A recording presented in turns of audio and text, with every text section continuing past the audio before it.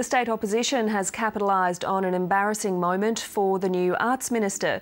On the 17th of May, Ros Bates read to State Parliament a speech that was given by her Labor predecessor late last year.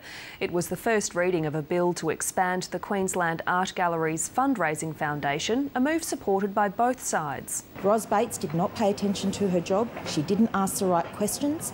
Um, she didn't do her homework, and now she's blaming departmental officers. Ms Bates was unaware the speech had already been delivered, but says she'll find out how the mistake was made.